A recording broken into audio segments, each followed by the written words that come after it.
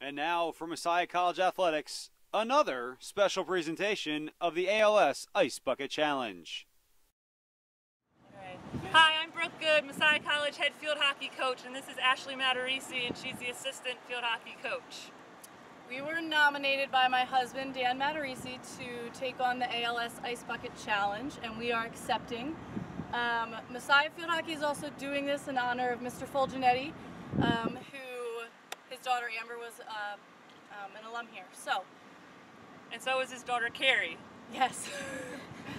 so, I nominate my sister Nikki Hornberg, my dad Scott Lobach, and a friend Val Zimmerman. And I nominate the rest of our coaching staff, Jen Jacobs, Danae Hollenbach, our wonderful athletic training athletic trainer Wendy Chesman, and my sister Corinne Good.